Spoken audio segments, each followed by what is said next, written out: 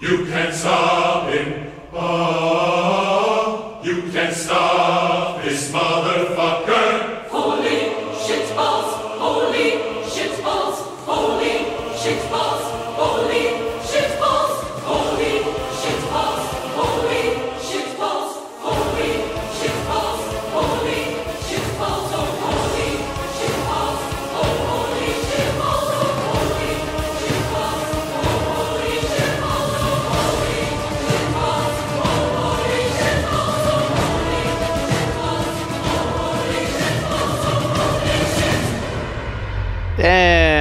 welcome into another episode of the Orlando Soccer Show. That was in reference to Deadpool 2 and The Juggernaut. If you haven't seen it, go see it. It's an excellent movie. But in the meantime, listen to us for another hour as we talk about soccer in the Orlando area. My name is Austin David. Joining me, as always, is Brad Newton. Ahoy.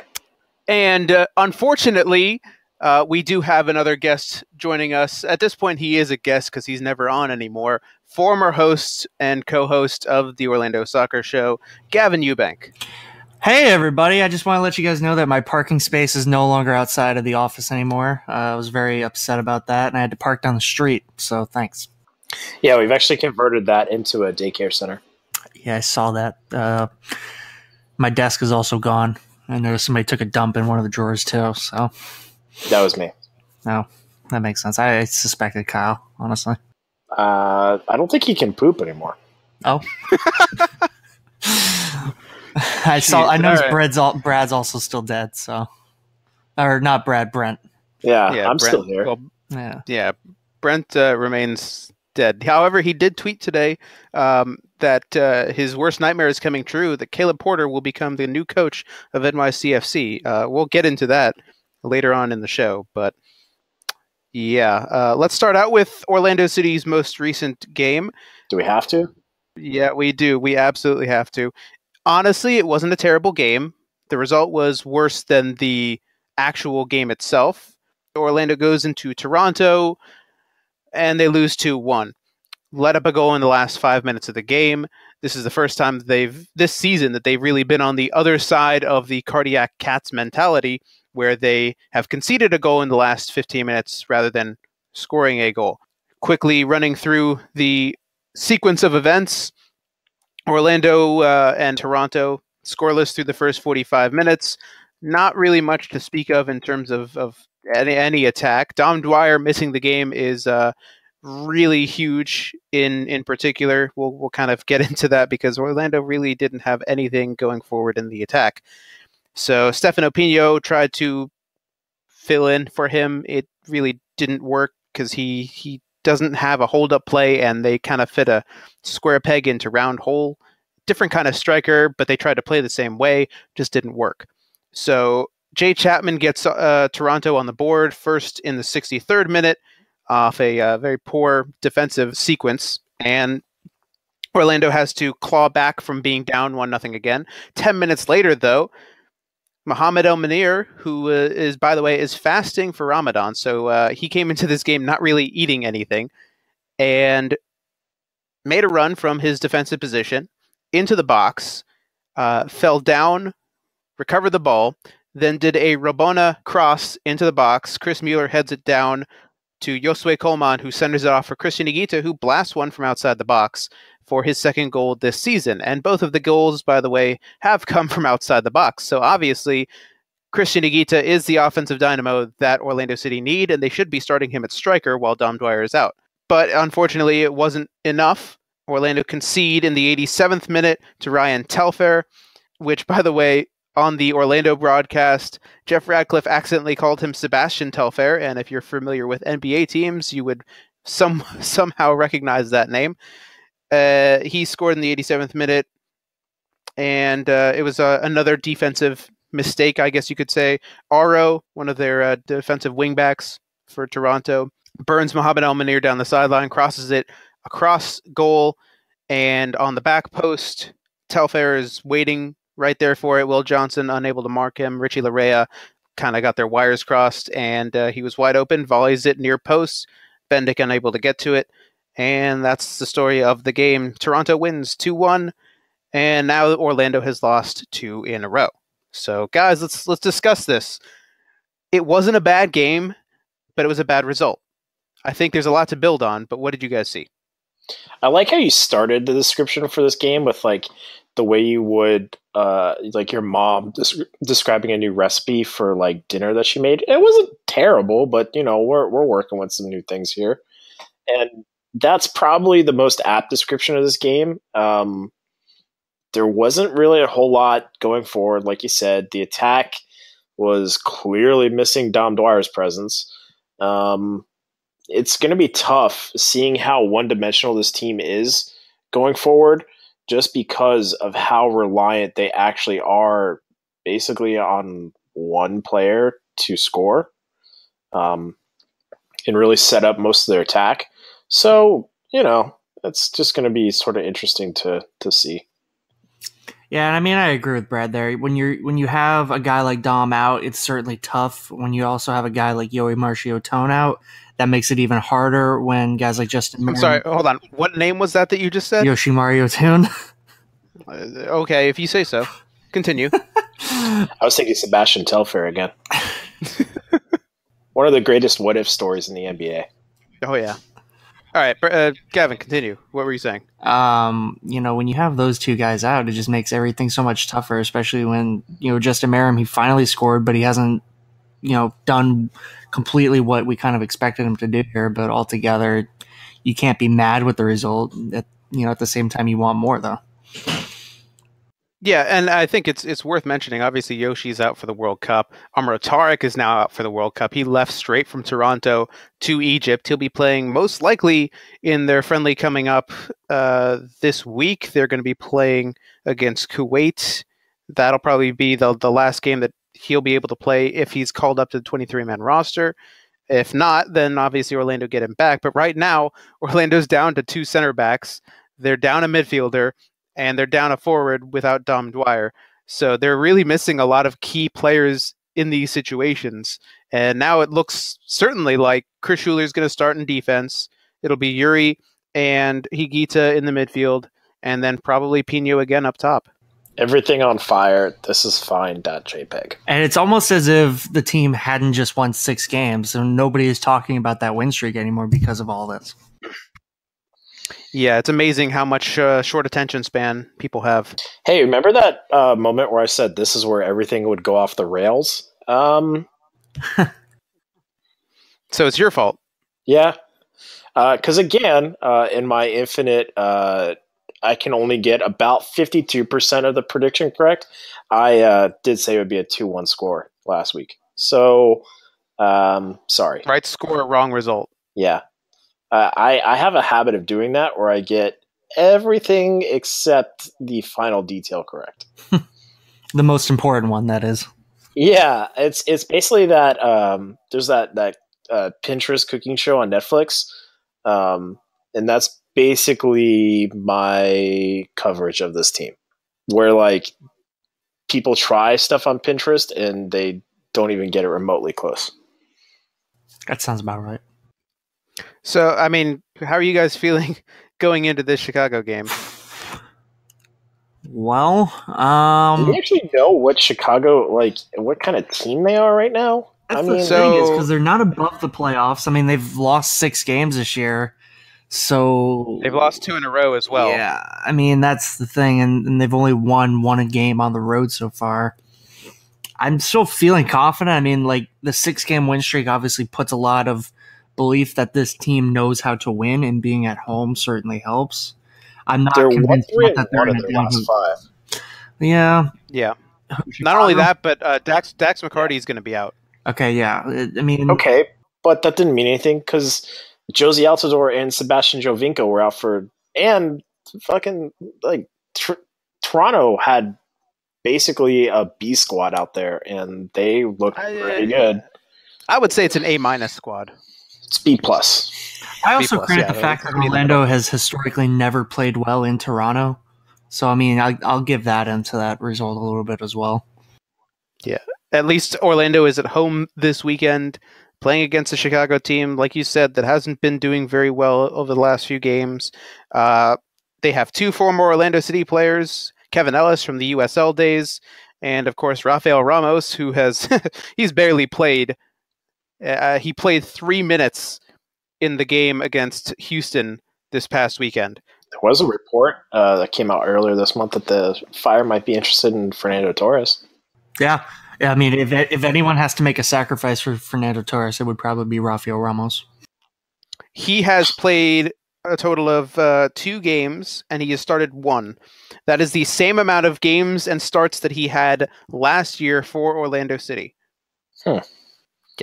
That's he a started the, he, he started their their second game of the season and played 84 minutes, and then hasn't played up until this past weekend where he played three minutes. Hmm.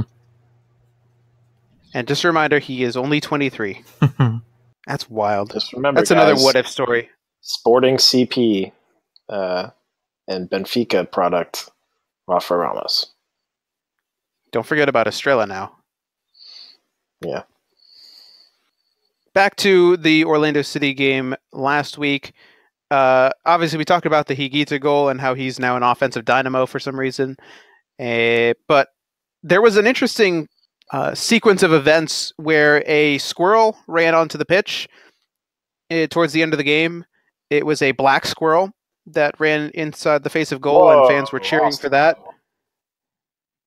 Sorry, what would you call it? I mean, you just call it a squirrel. It doesn't really need a qualifier. Okay. I, I'm I'm trying to get at the whole black cat uh, Uh, thing, like the unluckiness. felines.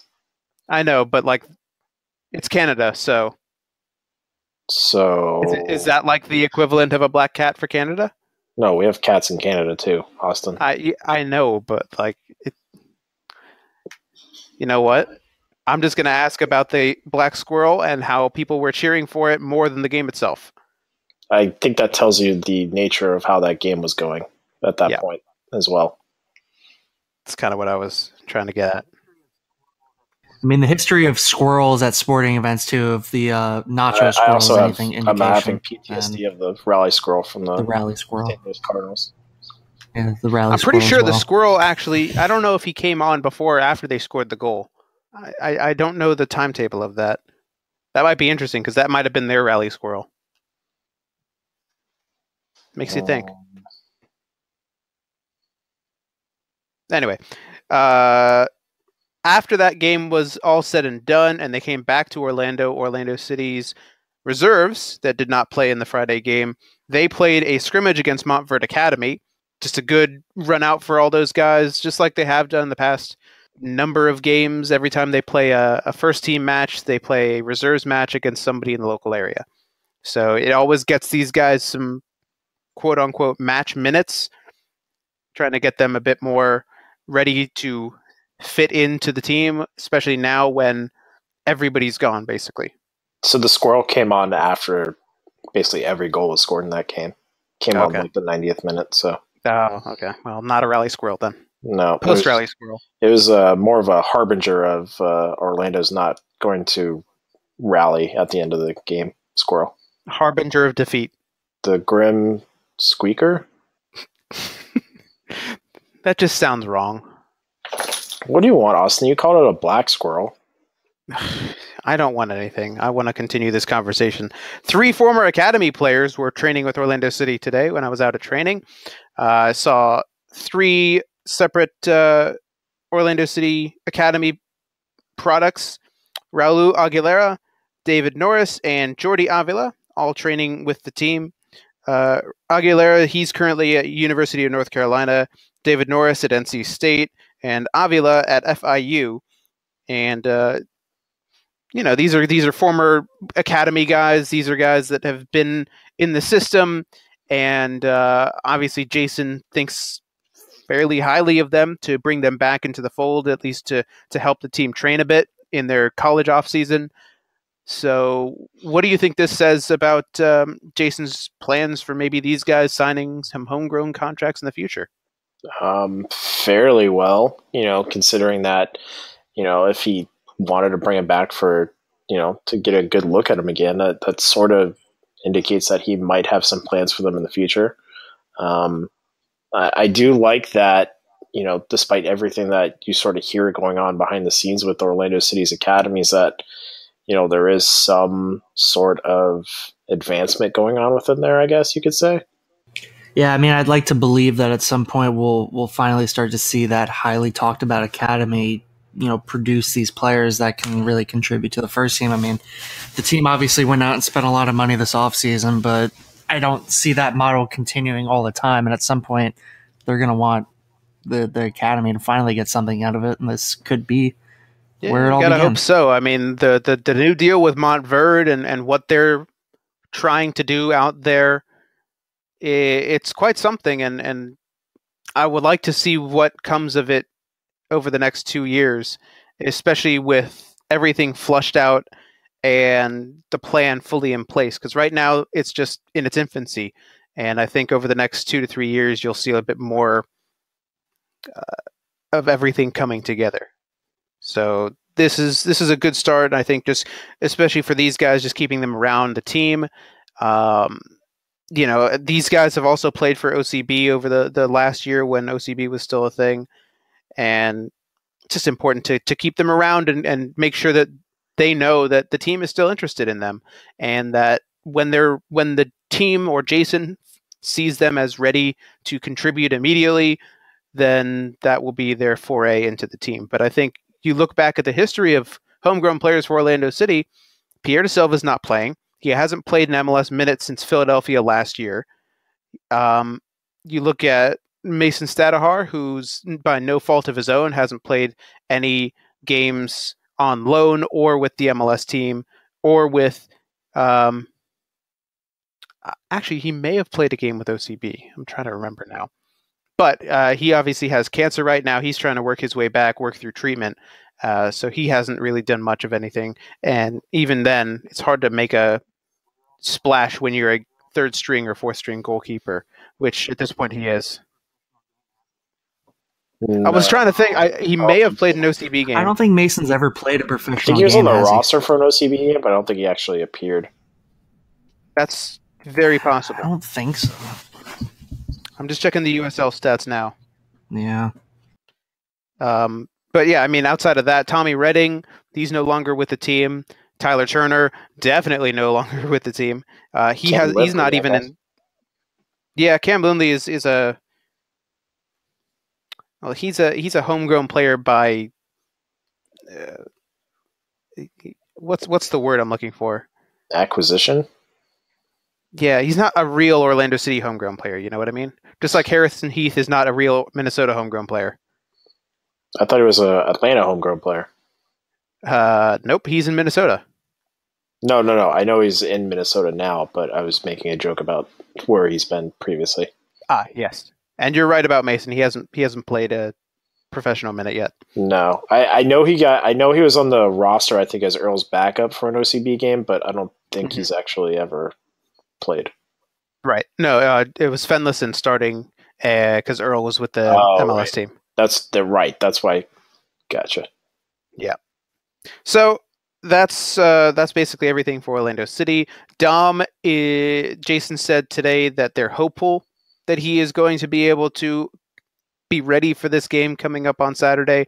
As far as Lamine Sane, who was not training today, he will pretty much is a given to play in this game.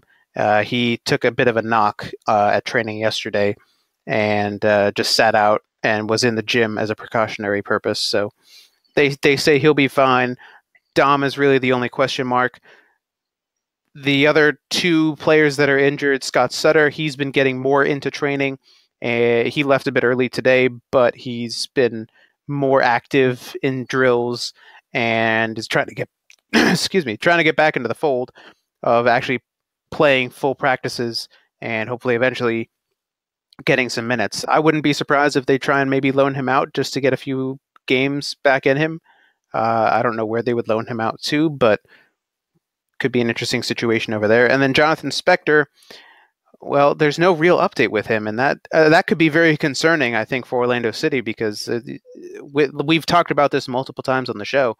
Concussions are such a weird egg that uh, they could last a week, they could last a month, they could last two years. You don't know. It's all about how the person is feeling at the time. So, especially with the center back depth the way it is right now, and the transfer window opening up, I wouldn't be surprised if Orlando City maybe goes after another center back and possibly even another striker, uh, especially since without Dom, what have they really been able to do? Yeah, I think that sort of gets at the heart of it there, really, is that, you know, when we first came into the season, we thought this team was a little bit deeper than it was. Um, mm. But we are quickly finding out that, oh, with international duty and injuries that maybe this team this year specifically because it is a World Cup year might not be as deep as we sort of thought it was. Um, I, I really don't know who the club would target as far as like transfers go, because I mean I think you would want some starting caliber players. I don't think you just go for depth when it comes to your transfers. Um, uh, that remains to be seen if depending on what does happen with Spector and his status going forward. Um, so I think all your good bodies are going to be kind of tied up for the next like five months, basically four to five months. Right. I mean, like you said, this the depth has really been exposed quickly, and it's making things difficult for Jason. And to not only just kind of feel, you remember at the beginning of the season when the team wasn't healthy, and it was like they were playing poorly and, and the excuse was, all right, well, they're not healthy and they can't play the way Jason wants it. Now it's kind of going back to that because these guys are healthy. And like you said, if Dom doesn't come back or, you know, he's, this is not new during his tenure in Orlando is he's missed, you know, quite a handful of games because of different injuries at different times. And it's starting to kind of trickle into the same kind of problem they had with Kaká where you can't guarantee his health. And if that's the case, you do have to go out and find someone – who, if it's not a guaranteed starter, it's someone with the ability and the talent to step in and start games if they have to in the in the time that he's needed. But they can also count on to score goals, which you know it's tough to find, but they're going to have to try to do it eventually. So, welcome to Orlando City new center back Per Mertesacker. Yes, or Geoff Cameron. Probably not. He's going to Minnesota if I ever saw a player that was destined for Minnesota. You want to you want to take a bet on that? Now that gambling's kind of legal. You know what? It's it's not my it's not my stone cold lock of the week, but uh, let me just say he's from Massachusetts, so he was best suited for the cold. It's fair. I mean, he has been playing in England for for God knows how long, so pretty cold yeah. out there. Yeah. Well, I mean, LA, LA could also be a good place considering they have the highest paid back line and it's also one of the worst. Fit in just well there. You mean the Galaxy? Yeah, uh, they do have the number one uh, allocation ranking as well. Yeah, I was gonna say, I was like, uh, LAFC's backline's pretty good. Uh, somebody's got to get out there and try to calm down Zlatan. Yeah, stop him from just slapping people yeah. in the face. uh, all right. Well, moving on from Orlando City for the moment, let's talk about the Orlando Pride. They have a game tonight against the number one team in NWSL, the North Carolina Courage. This is the biggest test for the Pride so far this season. It's a question mark for Monica, and that's pretty much it in terms of the injury list for Orlando, which is a good thing. Do we know Ashlyn Harris? She has been practicing. Uh, she showed up to training a little bit later yesterday, and showed up to training um, okay today. She was training with uh, Miguel Gallardo, friend of the show. Um, over on the uh, the goalkeeper side with goalkeeper coach Lloyd Yaxley. Seb Hines was out there working with defenders. Um, make the, tell you well take that for what it is. Offensive dynamo Seb. well, I mean, listen, Monica is an offensive dynamo as a defender. She scored uh, three goals in three games for Brazil. So, just saying. Yeah, I mean, she did pretty well for Atletico Madrid too. So, I mean, um, yeah, hopefully Monica is good to go. I mean, the game, uh, the game is in North. It's no, it's in Correct. Orlando, isn't it? It's here in Orlando tonight at yeah, seven thirty. Orlando.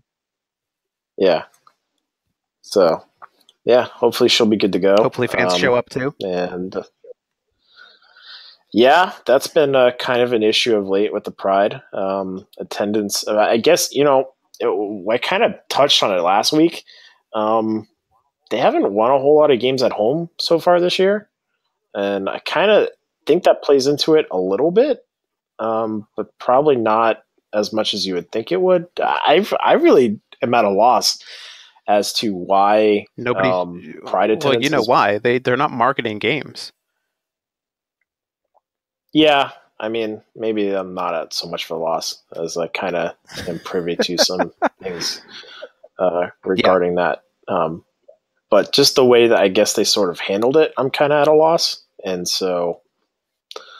I um, just, I, yeah, it feels like they're is- just the, the club itself is not really putting the resources towards marketing the the pride as much as they are for the MLS side, which you you you get uh, from the the basis standpoint that MLS is more marketable than NWSL at this point in time, especially to some of the newer soccer fans. But at the same time, with with the pride being as good as they are, with the quality that they have and the talent that they have, they should be they should I be mean, marketing so much have- more. I mean, you have Alex Morgan and Marta on your team. I, I don't know what else to tell you as far as like you have two of the best women's soccer players in the world on your team, and yet Right. That those two would should be on every billboard in the city. I mean, like it just doesn't make sense, especially from the standpoint of like, okay, Orlando City owns the stadium. Any event that you have going on in that facility, wouldn't you want to try to maximize the revenue coming out of it? And it's almost like they're they really don't care about that. Yeah, I mean, one of the things you saw last year, uh, from a marketing standpoint, you saw like the the our city, our pride banners that were all around, you know, the city, and you saw, you know, city and pride getting sort of equal billing throughout the city, really. So I, I'm kind of kind of interested as to what the club is doing moving forward, as far as like getting people to show up for Right. Because I mean, soccer fans know Orlando City is there, but how many of them know about the pride and what's going on with them? I mean, that should be the market you're, you should be now drawing more attention towards. Especially like you said, they have the two two of the best players of all time in the world right now, and it's like they they really don't want people to even pay attention to that. And they also made the playoffs in their Right. second year. So And you know, could have easily won Oh. it all last year with the talent that they had, and could still probably do it again this year. Yeah, well, now that they've actually won in Portland, that helps a bit. Yeah, right. That's one monkey off the back. Yeah, well, Orlando play not only tonight, but they also play on Saturday in Chicago. So the Fire coming here to Orlando, Pride heading to Chicago to Toyota Park to play up there. That game is going to be on Lifetime at 3:30. So nationally televised game for the Pride. Meanwhile, locally televised for Orlando City here in town. So Yeah, Pride and Red Stars are e- even on points right now. Um, I'm just kind of. It's it's going to be a short week for the Pride. You know, going literally what four days between games, but uh, Chicago also played on the 19th to a nil-nil draw against Seattle, um, which was so. I mean, they have a week between games. Pride have you know Yeah. four. So and this is this is this is kind of what Orlando had to deal with the two weeks ago. On the 9th, they played Utah in Utah, and then they went on the 12th and played Portland and beat them. Yeah, this NWSL schedule is kind of screwy to start out with, but you know, between losing a team in your league and adding more games to the schedule, it's it's going to be sort of Screwy, um, yeah, very difficult. But I mean, it's not often that you see a team play two games in four days, then have a full week off, then play another two games in four days. yeah. Seems like this wasn't the most well thought out um, I mean, when you have a team, like you said, when you have a team drop a few weeks or yeah, no, after the draft, after the NWSL draft, the Boston Breakers folded. yeah, So it's not like you can really plan around that. It's just like, well, shit, now what? I mean, you could, but I mean, especially if you sort of had an inkling as to what was going on with their front office. Yeah, but that's more reactive planning than proactive planning. It's just like, Yeah. well, now this has happened instead of this is going to happen. Let's do something before it happens. And yeah, that's kind of how they've planned it out. And it's not a big surprise when it comes to this league, this NWSL league. They've kind of had some issues with uh, the front office. I mean, technically, I don't think they have a president right now. Still, two years after the fact. Am I am I wrong in saying that? What NWSL doesn't have a president Right. currently? They technically Um, don't have a commissioner either. That's what I meant. Not not president, Yeah. commissioner. I was gonna say, I'm pretty sure Amanda. She's what, not- she's what not- roles Amanda she's not- Duffy I think have? she's she's director of like operations or something. So Jeff Plush, managing director of operations. She- which Technically, she's the one running the league, but she's not the commissioner. Of the right? league. But like, why not have they? Why have they not hired her as commissioner at this point? Like that's what I don't understand. Because guess- Jeff Jeff I Plush, guess it- he- Jeff Plush retired no, last he resigned or on March of resigned. 2017, just before the season started. Yeah. And then Amanda Duffy filled in, but they've had literally an entire year and off season without a commissioner. Why not just hire her at this point? It doesn't make any sense. I mean, is I mean, is her her role basically encompasses? She was that? on the stage at the draft I, as like acting commissioner. I, I, I don't know. I don't know why you just don't give her that title. Is it like a salary thing? Like I they don't want to pay her a commissioner's salary? I it's, I don't get that. that might not. That might be the least shocking explanation of that. Yeah, I mean to be to be fair, that that does sound like something NWSL would try and do to save some money. Anyway, Yeah. that's that's all the pride going on uh, at this point. Let's move on into some random MLS talk and back to Orlando City now. I kind of wanted to save this as a separate subject. This past uh, Monday, Orlando City had a press conference which they held at Orlando City Stadium. Alex Leitao, the CEO, as well as uh, Alex Wolf, who's I think he's the longest lasting employee of this club. He literally moved with this club from Austin back in 2010. Um, he is the vice president of uh, game day operations. Both of them were at the press conference, and um, they announced the new stadium policies coming out for uh, Orlando City after the incident spawning from the Atlanta United game. So, if you're not familiar with the incident, fans threw trash on the field after a very frustrating game for Orlando City, uh, and this was in stoppage time as well.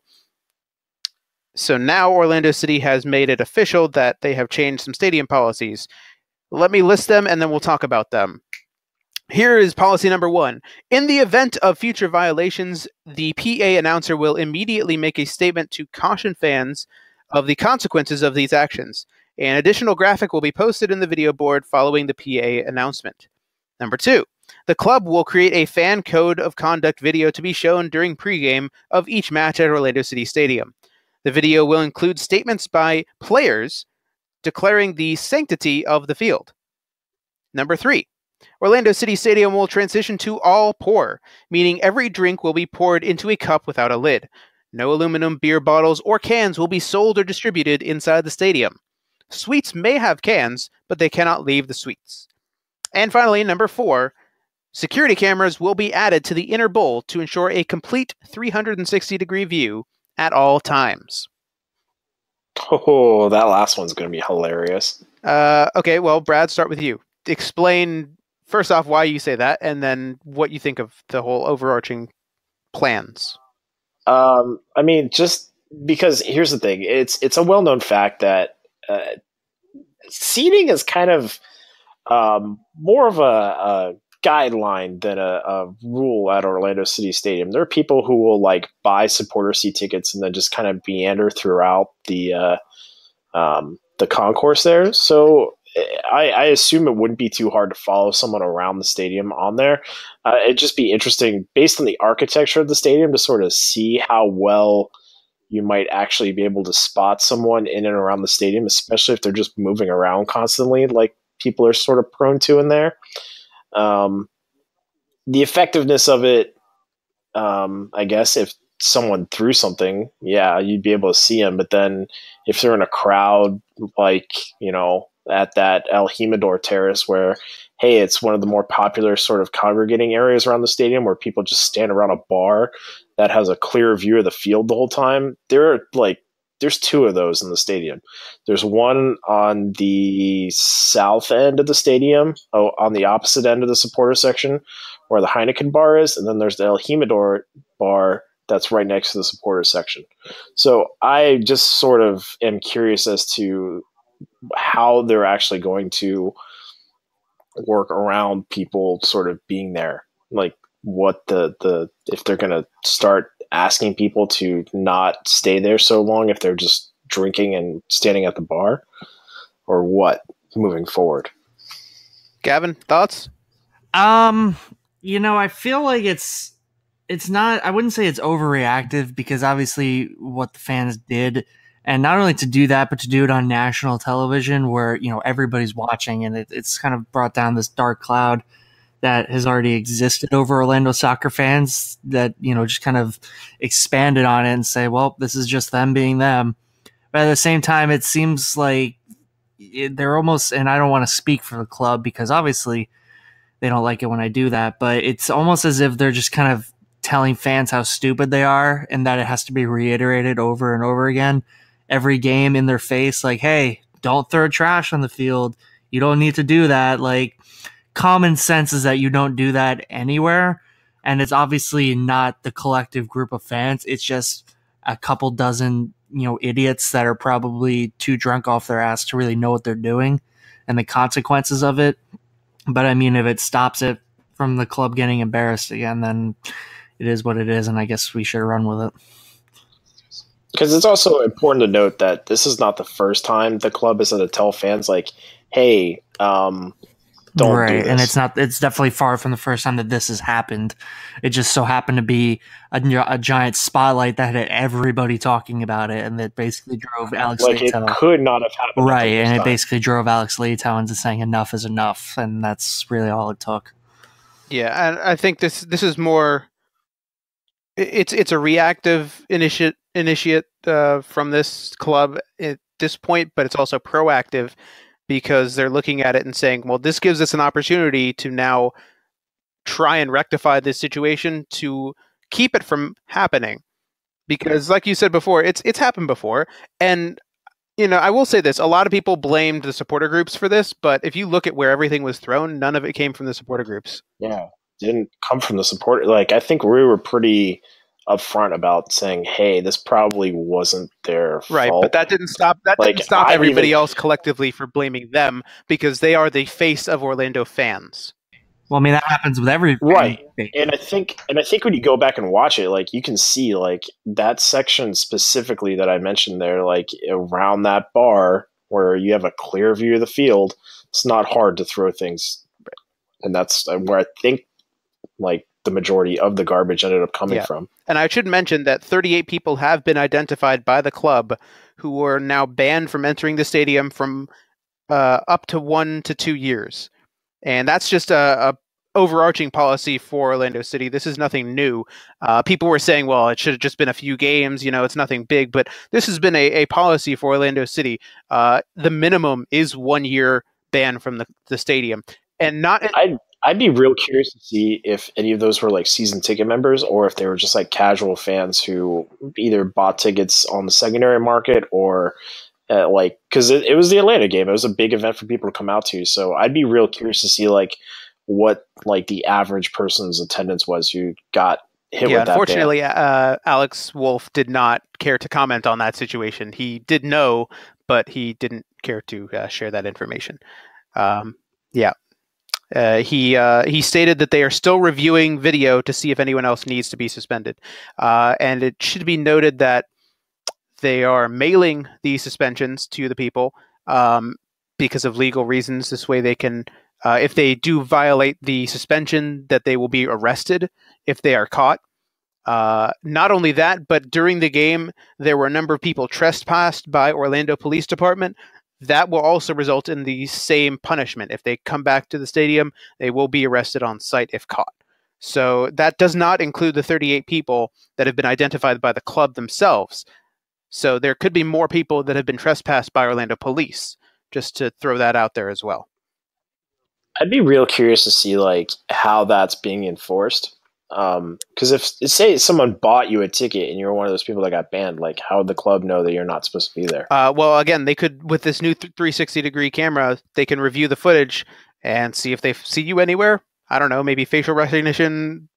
I, I really have no idea at this point. That's been my Uh, they- question: is how did they figure out who these people were in the first place? Just based With the on multiple video. camera angles Oh man, that's that gonna be. had. I, I just want to see. I, I want to go back to like the offices at Orlando City Stadium and see if they have that computer from uh, Minority Report now. It, no, it's be- it's behind the front desk of the security uh, the security uh, officer. So they have the computer from Minority Report. So I could just like wave my hands in front of it, and that's gonna like it, it'll show people who are uh, going to violate. The, Yeah, uh, it's it's yeah, it's of conduct. predictive. It's like that. Uh, it's like that. Oh. Uh, Who do you think are the precogs at Orlando City Stadium? My bet is Kingston is one of them. No, it's like it's like that. It's like the Minority Report computer combined with the dropship from Captain America: Civil War, or not Civil War, uh, the Winter Soldier. The yeah, the one the one that uh, that like predicts if you're going to commit a crime or something. Oh, oh yeah, yeah, yeah. That that Yeah. that one. Got it. The one that like identified all Yeah, the people Like before like, they would the even do something. Okay. Yeah, yeah, yeah It's like the mixture of those two things. Um, Gotcha. just to to continue with this conversation, Interesting Easter egg. Uh, Stephen Strange was one person that was identified uh, by that computer in the Winter Soldier. It was. Um, we talked about the the Iron Lion firm and the Ruckus. Uh, Leitao and and Wolf both said that they were working. Just salt of the yeah, earth. they were they were working with them in this process to try and make sure that everybody knows the new policy, especially now. Also, just to mention, the ILF and Ruckus, the the wall in general, has been an all pour section basically since MLS came to Orlando. So Yeah. they're That's the stadium. right and year. that's why they're not too worried about this because it's like well this really doesn't affect us Yeah, it's nothing. It's not. Yeah, it's nothing new Right. to them. but Like, I, i've seen so know. much outcry from fans about this new policy and saying how how much it's going to affect them and how they're never going to buy beer from the stadium again because of this small inconvenience I think it's the casual fan that's sort of making that approach. Uh, I don't think it's. i've seen i've seen some Anyone- diehards anyone- that have had that approach as well though I mean, of course, like you're gonna like people will get that change and they're gonna complain about it just because it's being handed down. But I mean, realistically, I think after you know couple games, you're gonna stop noticing. It's probably true. Uh, last thing I'll mention on this uh, quote from Leitao, uh, something that he said. He said, um, "It's something that is not acceptable, something we do not tolerate. I was very sad to see our stadium turn into a trash can from our own home fans." So that is the new situation for Orlando City Stadium, which will go into effect tonight against North Carolina when the Pride play not all the new stipulations will go into place. However, they said there's still ongoing uh, things that are going into the stadium. Uh, rumor that I heard is more cup holders, since there's going to be open pour cups, and they can't just put them on the ground because people will knock them over. So possibly new cup holders for the entire stadium, not just some of the stadium. Mainly the, The, wall. has cup holders. That's like one of the only sections that yeah, has yeah, cup the- holders. the- yeah. That's what I was saying. Like the the wall has cup holders basically throughout it. All right, moving on. We just talked about Orla- uh, Orlando versus Atlanta. Now let's talk about Atlanta because they had a situation this past weekend in MLS where they got uh, quote unquote proed, if you want to call it that. I think, um, Pro ain't not gonna pro. yeah, I mean, if you go back and look at this game that they played against the New York Red Bulls, which they lost 3 1, Atlanta. It's fairly benign as, as far, fairly benign as far as like getting prod goes too. Right. they really didn't get prod, though. Like, if you go back and look at some of the calls, they were the right calls. No, I was just saying, like, I think like they just got mad because a they were down and calls went against them, and they weren't used to that. So yeah, I mean, I guess if you're looking at them, they at, at game speed they might be weird, but no, they they were they were right. Yeah. So Uh, there could have been more calls going against them as well, though. If you go back and look at some of the, the challenges that they had, there was one challenge when uh, Leandro Gonzalez Perez stopped an, an obvious goal scoring opportunity and was only given a yellow card. There was nobody else in front of him outside of the goalkeeper, but the card was Well, only yellow. I mean, they have to make it. I mean, law of averages. They have to make it. You know, at least look like they're you know disciplining Atlanta a little bit. I mean, they did give 12 minutes of stoppage time. Yeah, that's interesting. Uh, why did why did Orlando City only get four? Yet that doesn't stop or, uh, the Atlanta fans from claiming that the league doesn't want to see them win, that pro is against them, that everybody is against them, and that it's the refs' fault that they lost. Interesting, interesting points, Atlanta fans. So Atlanta fans are finally understanding what it's like to be an MLS fan. yeah, welcome to the league. This is this is the Right. this was the game where Atlanta finally joined MLS. They finally earned their pinstripe, so to speak. They are true fans now. You guys finally you finally earned those five stripes. It was not just the fans, though. It was also the players. After the game, Brad Guzan. Here's here's the a, a little Q and A that happened between Brad Guzan and Doug Roberson of the uh, Atlanta Journal Constitution. Uh, Doug asks, "Do you know who the VAR was tonight?" Guzan says, "Do you?" He says, "Yes." Says, "Go ahead." Doug replies, "Mark Geiger." Guzan says, "Right, exactly. Point made." Yep, that's a paddling.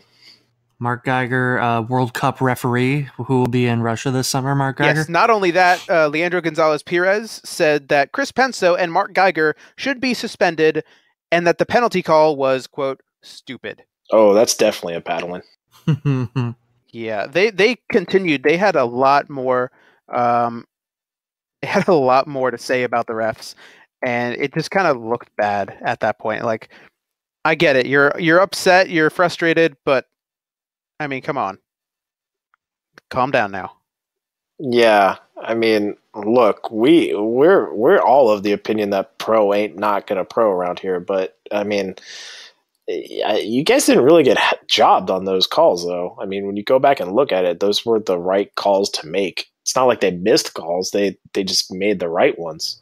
I mean, it's kind of like hearing the rich kid complain that his Sperry's aren't going to arrive for another two days, like UPS said they would. My dad got me the wrong. That's very apt. Perfect. So, um, just to note, uh, the guys over at Dirty South Soccer, their recap: uh, Atlanta United versus New York Red Bulls, full time. Refs gift Red Bulls the win. MLS gonna MLS. Huh. Hmm. However, when it's on the other side, oh, we're the best team. No one can stop us. MLS, you know, they want us to succeed, but when it goes against them, it's the complete opposite. So, like you said, welcome to MLS. Almost as if they've been Atlanta fans this whole time. They pull the mask off, and it wasn't a mask all along. It was just the real skin. Yeah. Almost every complaint that Braves fans had in the mid 90s is seems like uh, ones that United fans have now. Funny how these things come full circle. Yeah, here's a here's a quote from uh, Tata Martino. Uh, I have no explanation of the calls, but who was the VAR tonight? Media says Mark Geiger. Ah, I didn't see the plays, but wait, was it really the same one, Mark Geiger?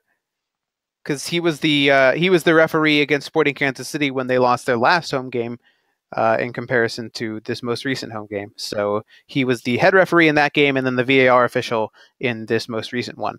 So now they're saying that Mark Geiger has it out for them. And even their coach is saying that too. That, I mean, hilarious. Big if true, but hilarious. I mean, this guy, seriously. Come on. I mean, Tata mean, come on. I mean, get over yourself. The refs. I mean, Here's here's another quote. Uh, I don't know how they're using VAR because I think that whatever whoever is using it is reviewing things incorrectly. Here's the full quote from Leandro Gonzalez Perez. The Martinez goal, what did he say? It's stupid. It's stupid because Parker runs to one side and Josef runs the other side. He says foul. That's a foul. This is real. This is real life. This is stupid. The referee every week, every single week, the same. Stupid. It's like David goes to the dentist, but like he's not under the influence of uh, like dental drugs. Here, oh, it gets better. Suspend the referee. Suspend the referee. Mark Geiger against Kansas City. There were a lot of mistakes against us. Always against us. Is this still Tata? No, this is this is Leandro Gonzalez Perez Oh. now, the defender. Oh, He says the referee is incredible. I don't know what we have to do. We are uh, we were doing a we were doing a really good game. A lot of mistakes. The referee put the game on the other side, and we lose our mind. No more focus, and we lose the game. So he's blaming the referee for them losing their composure. It's almost as if LGP doesn't have one game this season that we can already look back on and say, no, dude, you just get burned all the time. Oh wait, The There's many. Dynamo, yeah, the, I was gonna say the Dynamo, game, many. the Dynamo game where you got lit all the way the f up. Yeah, pretty much. So that that's pretty much the uh, the, the the fans' reactions because uh, I mean when the players are saying it, it kind of trickles down to the fans. You It's know gonna be I funny when Disco just says, "Miss me with that bullshit. Here's a fine." See, yeah, but the fines should have come out by now, and they they they weren't a part of that. So Well. I mean, listen, people keep saying how MLS is going to MLS. I mean, that's That MLS, right there MLS. is that's exactly right. The league's out to get us, except when they don't discipline us for anything we do. Yeah, pretty much. We've spent enough time drowning in Atlanta's tears. Uh, they're still in first place. I don't really know if they're crying that much. No, well, they're they're they're doing something. Hey, remember Eric Avila though? Uh, yeah, him of his wonder game against uh, the Galaxy. What? Yeah, and ago? of uh, of the Brecken Avi show fame. Don't forget that. Uh, Yeah, uh, he he is uh, he is signed with the Las Vegas Lights, playing alongside Freddie Adu. why is Las Vegas so good at sports now? They've been, I mean, they've been good because you can gamble there, but I mean, now that they actually have games being played in that city, it's taking it to a whole nother level. I mean, yeah, that's it's kind of interesting to look at that because obviously you have Freddie Adu, and then you have all the other teams that are coming in now as like uh, like Vegas is becoming a professional sports town, and it's like why, how? Vegas is already a better sports town than Atlanta, You can probably say that about most sports towns. I'd say Oklahoma City. Atlanta. Uh, I, I should Oklahoma note that Las probably Vegas technically isn't good at soccer. Uh, through nine games played, they have ten points. Right, have but I mean, those three games are pretty five. well attended, though. Yes, yes, they are. Plus, it's also year one, so I mean, you're really they're they've got time to build. Yeah, listen, when they bring out llamas onto the pitch for pregame pictures, that's how you know. that you're getting a quality product. yeah, exactly. A very high quality, A USL product. Quality product. but literally, the Las Vegas Lights are basically the um Flint the, the Tropics Jackie yeah of the Flint Tropics of of USL. everybody if you really think love- about it, I mean, everybody loves the lights. E L L.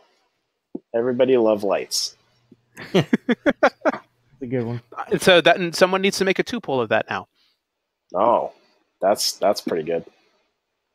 If only if only Will Ferrell hadn't invested in uh, LAFC and and Right? He could have made the smart choice and gone to, to Las Vegas. the the actual fun team of the West.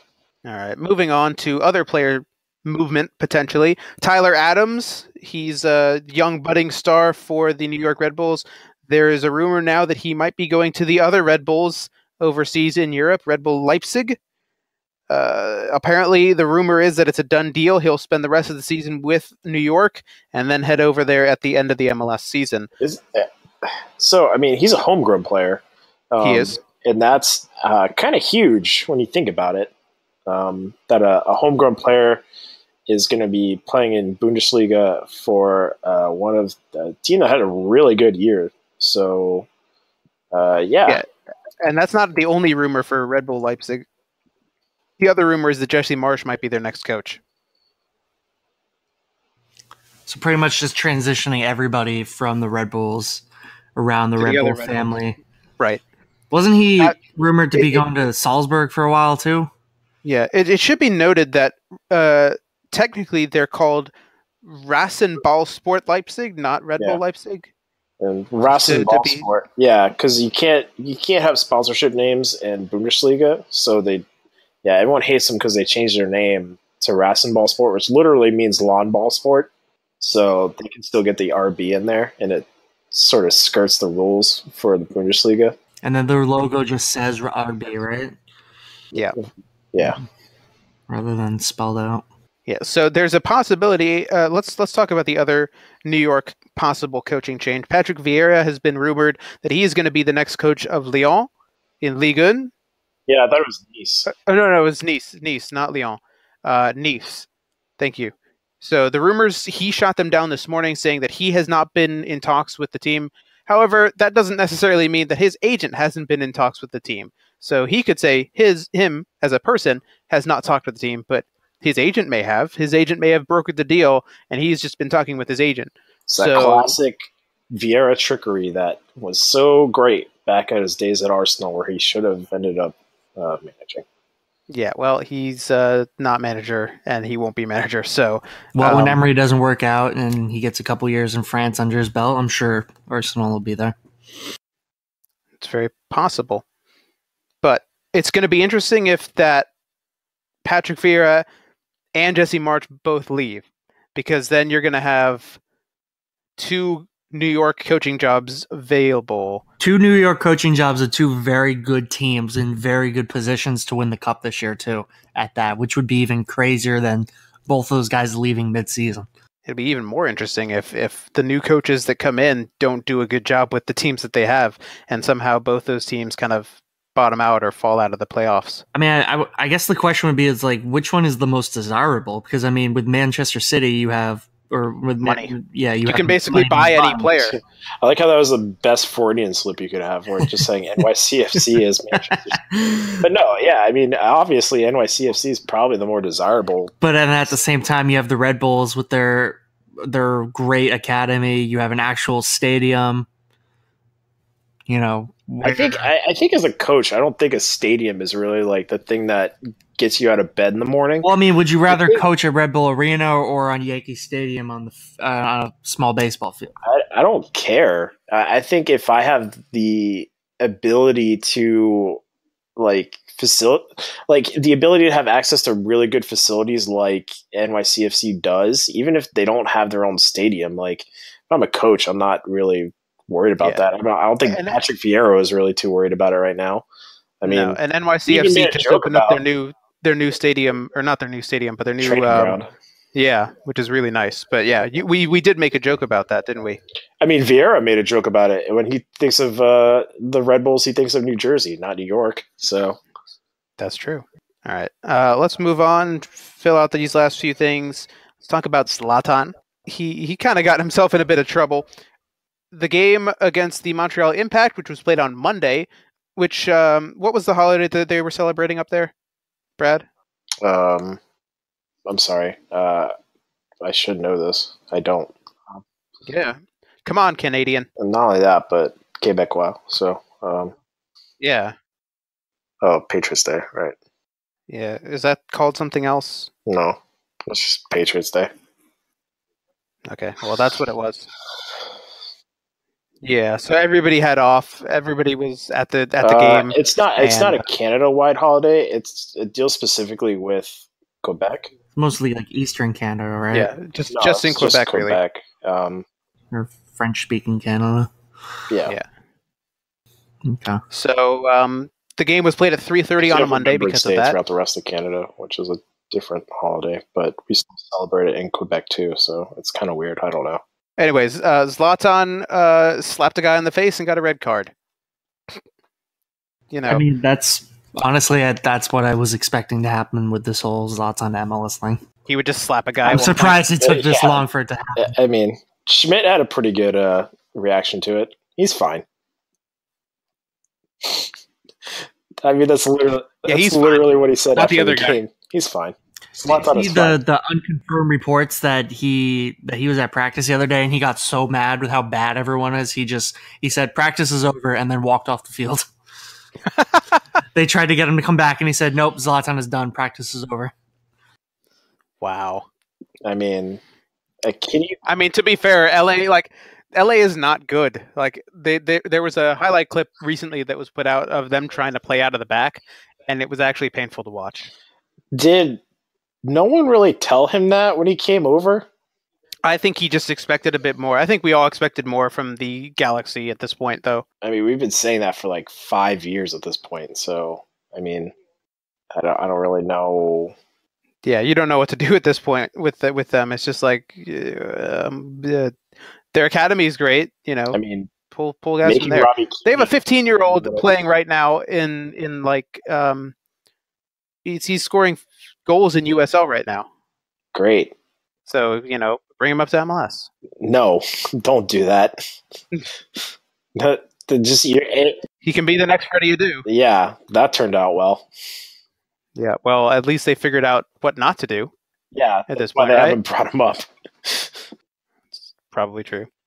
All right, let's uh, talk a little, a few more things here. The U.S. men's national team roster for their friendly coming up against Bolivia dropped, and there's pretty much uh, no player over the age of 22. Good. Uh, as a matter of fact, the average age of this club is this squad is 22 years old. So that means there are players over the age of 22. Yes, but I mean nobody's over like tw- nobody's over 30. Everybody's 29 or younger, basically. I mean, you would hope. Right. I want to say Alex Bono is the oldest player right now, and he's 24. I was thinking Bill Hamid's got to be the oldest one out. there. Yeah, yeah, yeah. Yeah, I was gonna say Hamid's He probably needs- he's 27. There you go. That's what it was. So you got Bono, Hamid, and Ethan Horvath as goalkeepers. Cameron Carter Vickers from Tottenham. Eric Lichaj from Nottingham Forest. Matt Miazga from Chelsea, but he's loaned out. Uh, Matthew Olosunde from Manchester United. Eric Palmer Brown from Manchester City. Antonee Robinson from Everton. Jorge Villafana from Santos. And Walker Zimmerman from LAFC. So interestingly enough, a lot of these guys are from Europe, except for Walker Zimmerman. so basically the Klinsmann model. Yeah, basically. And then you've got Joe Corona in midfield, Lynden Gooch from Sunderland, Julian Green makes a return appearance. That's going to be a, an interesting one if he actually ends up playing. Alejandro Guido from Club Tijuana, Weston McKennie from Schalke, Keaton Parks from Benfica, Christian Pulisic, obviously from Dortmund, Rubio Rubin from Tijuana, Tim Weah from Paris Saint Germain. That's going to be a big one to watch for. Has me hyped. And then the only two forwards on the uh, roster are Josh Sargent, who's now at Werder Bremen, and then uh, Novakovich, I believe is how you pronounce his name, Andrija over Novakovich from Reading. The uh, he's the only other forward on the roster. Everybody else is basically midfielders. So uh, it should be interesting to see how they end up rolling out here. Yeah, I mean, you have a young team because I mean, you're going to want these guys playing with each other for a while because I mean, to be honest, there's not a lot going on for this this group really until I'd say 2020. Yeah, I think the next competitive match isn't for a couple of years if you're not counting. Well, I guess the Gold Cup But I mean, year. if but I mean, if you're looking at like Concacaf and everything else, I mean, 2020 is like really the the year that everything sort of matters the most. So you have two years to sort of get this team together and see who develops along that road. So you definitely want to go younger if that's the case. If you're building for the future, I mean, this is kind of the generation you need to do it in because that last group of players, I think you saw their ceiling was making it out of the group stage and now they're not in it this year. So I, th- I think you gotta I think you gotta make the most of it for what you can. Well, this group will be playing on Memorial Day, Monday, May 28th, in Philadelphia. Be the first uh, first chance to see this new look U.S. men's national team, the future of this squad, and see how they end up uh, playing. Interesting. together. They're playing in Philadelphia, which is home of the. uh, I'm I'm at a loss here. There's there's a certain championship team that won a type of bowl in that stadium that they're going to be playing in. Oh yeah, the Eagles won the Super Bowl this year. Uh, but right. they're I, I think they're actually playing in Talen Energy Stadium, not in uh in Yeah, they're they're playing it. field. Definitely playing it. So- So, uh, sorry, Union, you're probably not going to win anything for a while. Yeah. Well, at least the Eagles Like won I the Super Bowl, right?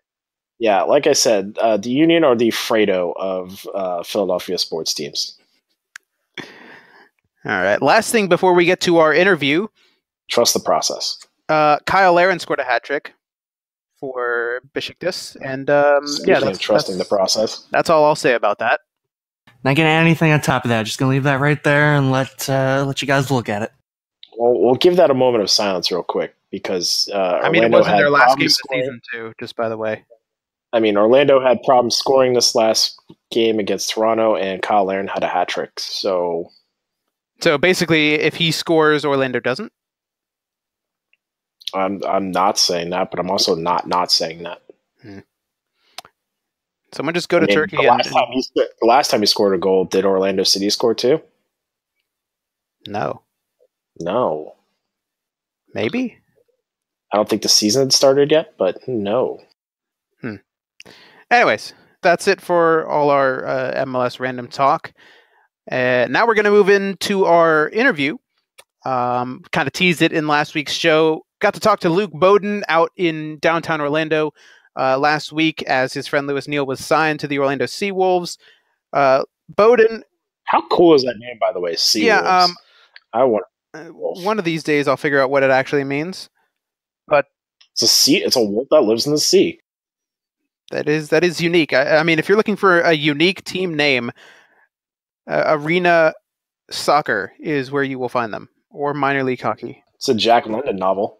What Seawolf? Yeah. But anyways, Boden, he will be signing with the Seawolves once his contract with the Tampa Bay Rowdies ends. Um, he's not playing for them right now. He is getting paid by them right now, um, but he's getting paid to basically just do whatever he wants, uh, except play and train with the Rowdies. So he's uh, he's uh, stealing money from from Tampa Bay, which I'm sure will make all Orlando City fans happy. So without further ado, let us uh, have a nice chat with Luke Boden. Uh, Lewis Neal does make a, a cameo appearance in this conversation as well, and it just makes for some great reminiscing, talking a little bit about uh, their project in the uh, with their academy coming up, um, their new project now with the overall minor league system with with the arena uh, soccer, uh, as well as just reminiscing on the good old days and kind of talking about uh, everything that happened with Orlando City, and uh, we even talked about Dom Dwyer a little bit as well. So, uh, without further ado, here's the Luke Boden interview. How, are, how excited are you, first off, to have an indoor team now in Orlando and to be able to play for it? Yeah, it's exciting. Um, obviously, you know, at the end of uh, my contract with Tampa, you know, being able to be back in, in Orlando, you know, the place that you know, I, I hold very dearly to my heart. You know, I, I played here for six years and uh, had some very, I have some very good memories from here. Um, so to get the chance to come back and obviously play another year, you know, hopefully more with, with you know one of my best friends is, you know, it's great. It's great, and I'm really looking forward to it. How important is it to be able to play with Lou again? I mean, obviously, you guys are best mates from, Yeah. from back in the day, and, and now to be able to not only play together with this indoor team, but have this business venture now with the Pro Soccer Academy. How important is that uh, for you, just personally? Yeah, it's it's it's really important. It's a great opportunity. You know, not not you don't always get the opportunity to, to you know to work with someone who you know I love Lou to pieces. You know, he's you know he's my he's my best friend. He's, he's something that he's somebody that's you know been in my life for you know since 2011. In, in 2011, we it was me and him in an apartment, and that's it. You know, it's it's and you know um, to be able to to be able to share this with him, not only the the indoor, but to share the the the, the business that we have, the company, um, along with two other guys, Justin Glatt and Joe Bellissimo. To, to, to have this together is uh, it's really special, um, and it's something that that you know I'm hoping um, that we'll be able to do long term. You know, from for, for as long as we can. So now, for your growing business, and obviously this team as a growing business itself, and you kind of growing along together, how important is that uh, that you're able to work with this Seawolves team uh, to help help each other out? Essentially. Yeah, it's. I mean, it's important. It's important, you know, for any for any starting business. Um, it's important to get the word out there, um, to get the word out there about about our business, um, and you know, basically get the people aware of, of what we're what we're doing and what we're trying to do. And then it's up to me and him to, to, to give the product basically. And and I know I know, you know, I know Lewis. Um, Lewis knows me. We know, you know, what we bring to the table. Um, we're very professional in what we do. We expect a lot from each other. We expect a lot from our players. Um, but that's how that's how you know we get better as a, as a group, and that's what we tell the players that we have now.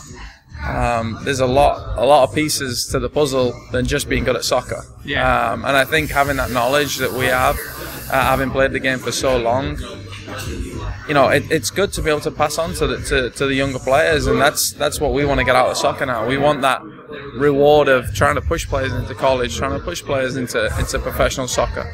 You know, and if, if we can do that, then that's you know that's our main aim. So now, this being your first kind of foray into coaching, how has it been uh, for you personally, kind of adjusting to that other side of, of the game, uh, and how is it having Lou being able to help you from that his experience the last two three years? Yeah, no, it's it's it's a it's going to be a difficult transition. You know, uh, not playing soccer anymore, something I've done professionally since I was 16, is difficult. You know, same for It's it's a difficult process to, to, to leave the game and playing, and that's why I said it, we need some reward out of it, and our reward now uh, now is to hopefully see players that we've coached and, and hopefully guided into college and, and professional. That's how we get our reward now. Um, so that's important, and that's what we're looking for now. Um, but you know, with this indoor um, and Chris giving us this opportunity with the Seawolves, you know, it's a great franchise. As, as Lewis said, it's a very family-oriented environment. It's that same kind of feel of what we had you know, in Orlando in 2011. So it was something that we were like, yeah, we'll, you know, we'll definitely do it. It keeps us playing. As I said, I get to play, you know, with my mate again uh, for another year, hopefully more. And you know, it, it gets the uh, the academy out there, and it gives us a chance to stay in Orlando and, and work on the academy. And it's it's a perfect opportunity, and, and, I, and I hope things are falling into place, um, and hopefully, you know, it can take off. So now, for you professionally, I mean, obviously, you know, last time with MLS was Orlando in 2016. Uh, then went to Tampa. It's kind of been a bit of a rocky road, I guess you could say. Um, what have you learned from this experience? Kind of, you, since you've been with Orlando since 2011, kind of made your career and everything. What has this experience last two years kind of been like for you? Yeah, it's um, it, it makes you grow up. Um, I think, especially for for me and Lewis as well. You know, we he, he, he in the same. I mean, his family only came over later in in the year in 2011. So you know, you get thrown in the deep end really, and it's like, okay, now you're in America, and um, the only thing that's the same is this, we speak English. You know, the culture's completely different. You know, we didn't have family over here, we didn't have friends over here, and it was like, all right, come on, now we need to win games. And you know, normally if you know, when you were back home and you had a bad game or whatever, you could go to your grandma's and go and have a cup of tea and a chat, and you could kind of forget about it. But we were constantly around it, um, and you know, we were around each other, so you know, we helped each other. But I think the experience that you gain from taking a jump and kind of, kind of winging it on your own and trying to make it work, it's it's huge. It's huge, and I think the experience that we've gained, gained in, in the game over the years, you know, what it takes to be a player, as I said before, um, being good at soccer is such a small piece of the, of the pie that, that makes a, a soccer player. Um, uh, you know, attitude and professionalism and the desire to win, and you know, all these all these little things make a make a big thing, um, and that's what we try and get through to our kids. So I think that's the knowledge that we've gained over the years, and as I say, hopefully we can pass that on to, to our players. So now you, you talk a little bit about like safety net, and you kind of grew into it over the, the multiple years that you were in Orlando. You know, I recently talked with Jamie Watson and Dennis Chin. Yeah, yeah. You know, they were reminiscing about the good Yeah, old days, right? Um, you know, they, they said you still keep in, in contact with Mm-hmm. one another. Um, how important is that, you know, for, for you as, as a player back in 2011, looking back at that now, and still being able to connect with these guys, you know, seven, eight years down the road? I think that's that was a massive thing um, of why we were so successful. We, um, you know, we looked. We look at this guy. Look, look, ridiculous. No, but I think I think the reason we were so su- successful in 2011 is that we all got along. We all did everything together. We ate together. We slept together. We drank together. We, you know, we went out together after games. Just for the record, we didn't sleep together. we we lived in the same apartment. Just just just for the record, that was all. Oh yeah, yeah. but but but we, we you know we were on sleeper buses to, to games. We were we were we were such a tight knit group, um, and you know that it, back in that back in that time when it was USL, it was purely about soccer. And then when you get that MLS franchise, it becomes a business, and that, that's uh, it's inevitable that it's going to become a business. Um, but you, you kind of lose that um, that dressing room feel of you know you know, not everybody goes out to eat together. Not everybody goes out. You know, we lived in the same apartment complex. We did everything together, and I think that relayed onto the field. And uh, that's difficult to do in MLS. As I say, it's a business. As a players on a lot of money now, crazy amounts of money. We were, you know, we were on, you know, we weren't on crazy money. You know, by no stretch of the imagination. Um, so we were all on similar money. We were all, we were all in the same situation, and we, we made the best of it. And you know, we won a lot of things together. And they were some of, I mean, me personally, they were some of my best years playing. I'll never forget. So Yeah, Jamie Watson was he was telling me how after the 2011 championship game, he immediately went to go waiting tables afterwards. Uh, uh, yeah, we, we, you know, I, I helped Tom Traxel at the store. I, uh, we, it, it was, it was purely about soccer. Purely about soccer. It wasn't about the money. It wasn't about. It was purely about winning trophies and, and, and winning as a team. And that's, you know, as I say, when it, For me, that was a huge year in terms of the of the success of, and, and the development of Orlando City arriving in Orlando. That that put Orlando on the map that first year, in my opinion. Um, as much as obviously, you know, more fans came as the years went by, but for me, if it wasn't for the success and the quality of product that we put on the field that year, because I remember even now looking back at, and I played at something like Luke has played in some games in England uh, and with some really really good players, but.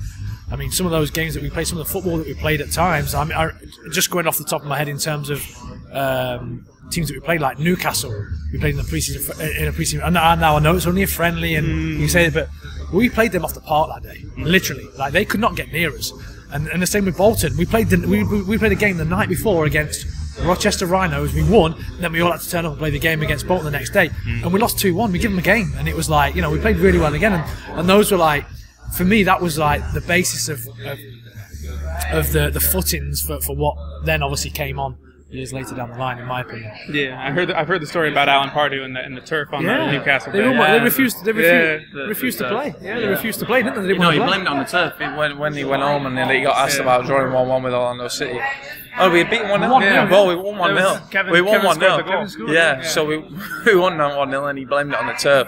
Yeah. I do remember Adrian saying though that Alan Pardew did go into Adrian after the game and said, "Look," he says, "You, you, you guys played well. We genuinely didn't expect you to be anywhere near the level that you played at." And I think he was like quite shocked, although he had many complaints about the field and the pitch and all stuff like And that, was, and that was the thing about us, us then is you could we could we could have wore any strip, anything, and you just said that's how Orlando City play because we had an identity, and that was Adrian's way of playing. And if you didn't play his way, you were gone. And that's that's the way it was, and that's the way he is. And he, you know, eh, his his his idea of how to play was unbelievable. and he's true to it. He's true. Never, He never wavers from it. Never wavers from it, which, which is credit to him. It's like the, the modern day Peps and mm-hmm. Mourinho's. They all have their way of playing. Whether you agree with it or not, mm-hmm. they stick to it. They very, very, very rarely waver from it. Yeah, and Jamie, Jamie when, when he interviewed him, he was saying how he didn't he didn't think he learned how to play football until he was under Adrian's system. No, it's it's it's a it's a really a really exciting way of playing soccer, and, and obviously as as Orlando City fans know, it's a great great to watch. Enjoyable to play. It's enjoy, enjoyable to play. And I never ever thought that I would have ever played left back in my wildest dreams. uh, but the way that Adrian wanted to play, I, I barely played left back. You know, I was going forward and getting crossed in the box, and it was it was it was a really exciting uh, exciting way of playing, and we really enjoyed it. And I think that showed with, with what we won. So last question for you. Obviously, Dom is Dom is back in Orlando. Um, what do you make of, of his career path? Because you were you were there when he first came onto the scene, if you will, Yeah. when he was on loan, kind of frustrated with things, and what, what's the growth and progression been for him in his career? Yeah, you know, Dom's done fantastic. You know, he was, he's always, he's one of them players that anywhere he goes, he's going to score goals. That's what he is. And as a striker, that's what you're paid for. You're paid to score goals. Um, and he's got that personality where, you know, people might think, oh, he's a little bit, you know, he might be a little bit big time. He might, but you know, actually, Dom, he's a great, he's a great guy. Um, he's a great guy, and you know, he's got that, he's got the arrogance that you need to be a player of his of his stature. You know, the way he plays, he's aggressive, he works his socks off, so you can't take anything away from him. Um, I think he's done fast, fantastic, and I think he's only going to help Orlando with his goals. I mean, he's already he's already doing well this year, but you know his athleticism. I remember, I always remember this time. It was it was it was the day uh, Kaká came to visit for the first time to Orlando, and uh, there was ropes around the field, and he walked up to the rope, and just did a front front flip over the over the rope, just stood there, and we were all looking at each other like, "What? He's just a freak. He's a freak athlete." And I think that's you know that's massive for Dom, especially in MLS in a really athletic league. Um, he just he's a freak athlete, and he, he scores goals. And credit to him, and you know that's the that's why his career has taken him where it's taken him. All right, and that was our chat with Luke Boden and uh, I guess Lewis Neal as well. Uh, always great talking to those guys, just being able to to catch up in in that kind of environment and and just hear what they're up to, their thoughts on everything, and kind of like what we did with Jamie Watson and Dennis Chin, and just kind of reminisce on the old days and you know get their perspective now that it's all kind of over and they've moved on to bigger and better things. So always good to to talk with them and. Uh, hopefully we'll hear from them a bit more as the Seawolves season starts in November. I actually played for a uh, travel baseball team named the Seawolves. Hmm. We were terrible. All right. There's like a thing. I think I remember reading like people think like whales like are like a certain breed of whale evolved from wolves. If I can remember that. Hmm. Scientists say the creature like apparently there's like a, a wolf-sized animal that evolved into the killer whale. I think is what they said. Interesting. Well, um, as we get into weird things, let's talk about our weird news for this week. Uh, guys, uh, whoever wants to go first, go first. What is your weird news for this week? So, uh, bowl food is the hot new trend where you eat food out of a bowl, according to uh, the takeout.com. Um, basically, at the royal wedding, uh, Prince Harry and Meghan Markle uh, served their 600 guests a uh, stand up menu of uh, canapes and bowl food. And uh, if you're wondering what uh, bowl food is, um, you just take food and put it in a bowl. So if you've eaten Chipotle anytime in the last, say, 10 years, uh, congratulations. You've uh, been a big part of this uh, smashing new trend in uh, the culinary world. You know, I didn't even get a piece of you. I didn't even get a piece of him. Do you know um, George Clooney was inside of the chapel at the royal wedding and Elton John was outside? Huh. Really? I, I know it was like made like a big deal of like they only had like so many people inside, but that was kind of interesting that George Clooney was one of the people who was inside. That is kind of interesting. Yeah. It's the little things. Anyway, Gavin, what's your weird news for this week? My weird news come from the great state of Florida, where we have a Florida man arrested after jumping on the top of playground equipment at a Clearwater park and telling kids where babies come from. This man, if you uh, have seen the story or if you have not seen the story and want to look it up, this man looks like the exact kind of person that would do something like this. He's got tattoos on his all over his face. He's got just raggedy teeth the man jumps up on the uh, playground equipment and starts shouting in front of a bunch of four and six year olds uh, that babies come out of women, but he said so more vulgarly. Oh, So, uh, yeah. so not factually inaccurate, just gross. No. Yeah, no. He uh, he definitely enlightened some worlds there for those kids. Uh, $118 fine, and he was asked to stay away from that park. Go home, Dad. You're drunk. Yes, Otis uh, Dwayne D A Wayne Ryan, uh, thirty years old. Hmm. Okay. Sounds about right. Huh. Yeah. Sounds like he's got a lot going on. Uh, in, in, enjoying all his life, I guess. All right. Um, here's my weird news. Febreze freshens up Alabama town after poop train rolls on. Uh, this is a uh, in Walker County in the uh, town of Parrish, Alabama. Uh, a foul-smelling poop train finally left the town, and um, they had a Febreze van. Febreze gave out free samples of its odor-eliminating products to residents of Parrish after a train carrying more than 200 shipping containers of sewer sludge sh- sat on a rail yard in town for more than two months as the containers were hauled by trucks one by one to a landfill 20 miles away. So imagine just your toilet basically sitting there for two months and not being flushed. That's what it smelled like. So, uh, of course, Febreze jumped on the opportunity to advertise its new product and gave out plenty of uh, free samples to the residents of the city. And uh, they said, At Febreze, we believe that no one should be immersed in stink. And we are confident that our lineup of odor eliminating products could finally bring a breath of fresh air to the good people of Parrish. So, of course, they took it as a marketing ploy and uh, made a YouTube video of it. So, that's going to be their next commercial. Um, it's almost like this was set up or something. You guys like realize how long it took uh, the Solo company to come up with a marketing deal with Solo, the new Star Wars movie that's coming out, and it seemed like the most obvious layup from the get go. Yeah. It was very clever. I mean, it was it was pretty much obvious. So Yeah, it was super obvious, but they just just took forever to do it. Yeah. You mean just about as obvious as Publix and Orlando City Stadium kind of getting together and just not doing anything about that? Yeah. Oh well. Did we ever talk about the stadium sponsor earlier on in the show? No. Uh, no. Did we still want to? Just save it for next week. Yeah. Yeah, we'll it's tease not. It's, that it's for- not. I mean, it's not like it's a, a topic that's going to be. gonna- yeah, it's not going to get solved anytime soon. Uh, and we'll need content for our World Cup, so that's going to be a little tease uh, for our listeners uh, that uh, we're going to have some discussion topics at future episodes. Yeah, maybe we'll get someone from the club to come on and talk about it. Who knows? Probably not, but oh well. Absolutely, probably not. All right, um, let's move on to red cards for this week. Do you, any of you guys have any red cards? Anything you're upset or pissed off with specifically? Yeah, I have a red card, and it just happened. Uh, Nike, why the hell can't I find a Nigeria jersey on your website?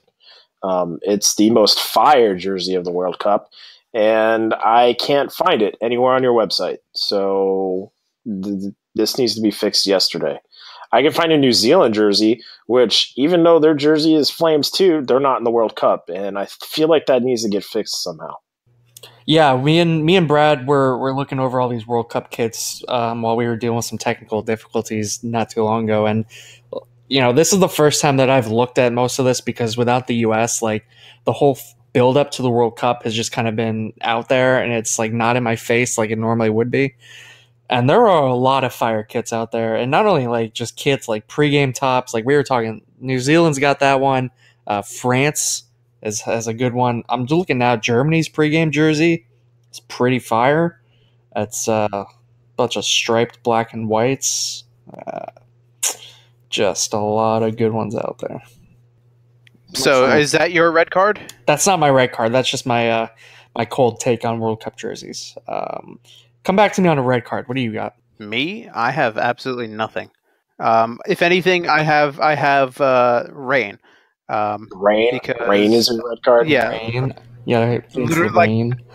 I mean, literally, I was out at training the other day, um, and it rained, and so we all had to huddle again uh, under an umbrella and uh, stay there for half an hour while we waited for uh, the Orlando Pride to, to come out and tr- start practice in the rain.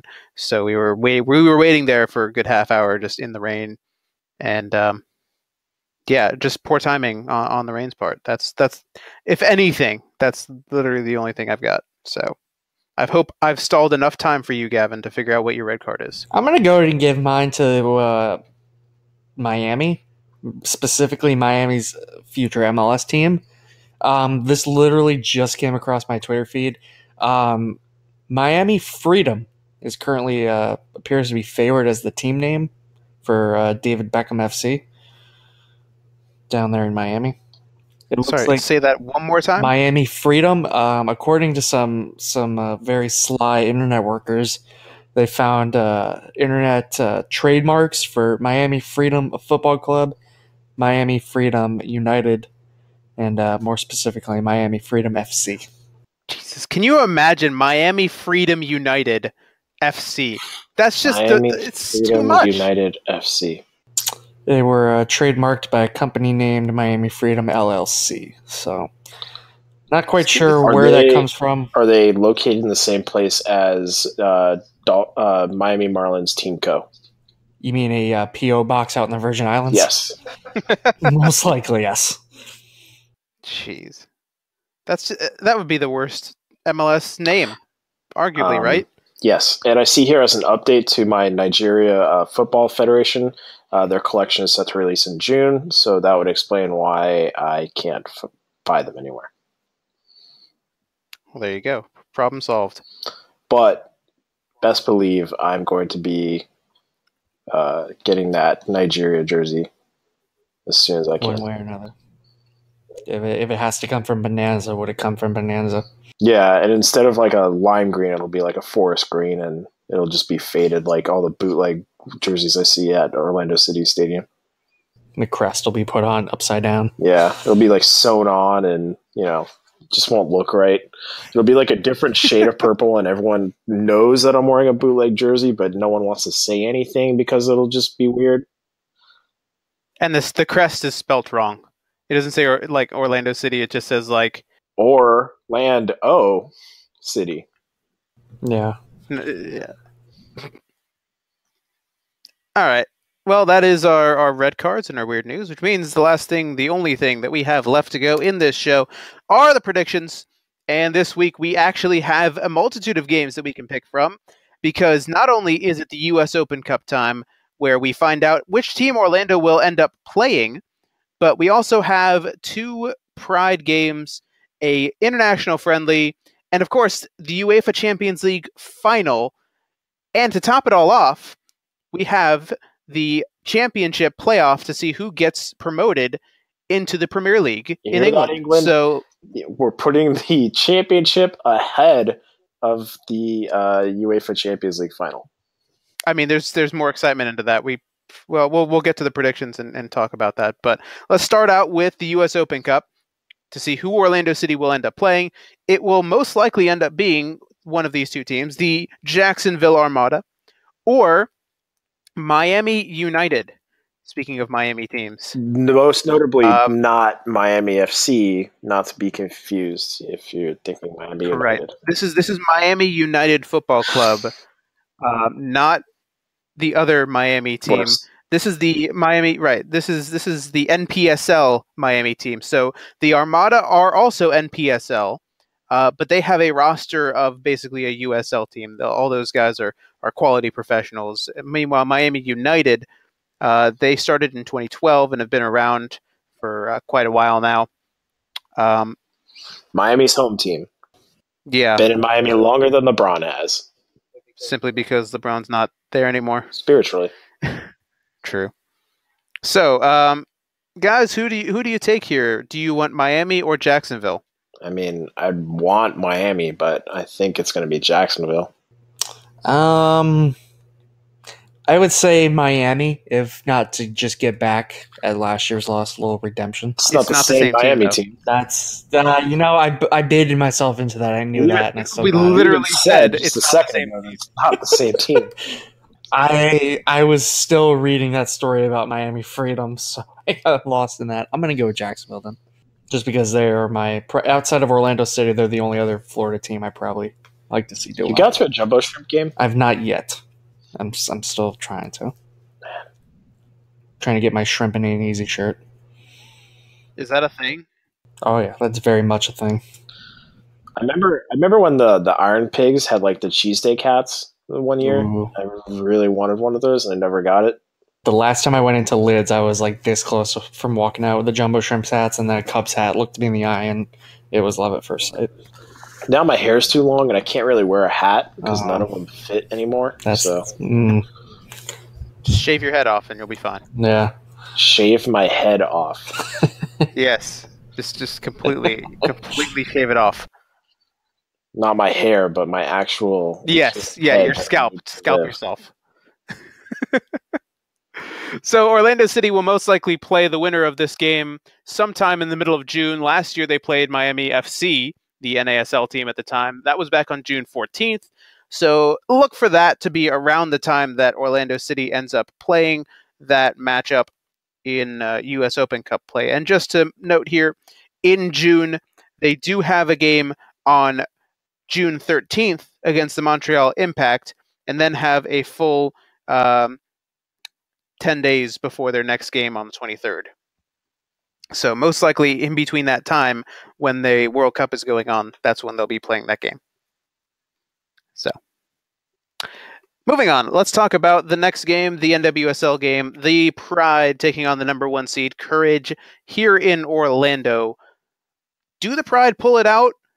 Do they beat the number one team like they did last year, or is North Carolina too good for the Pride right now?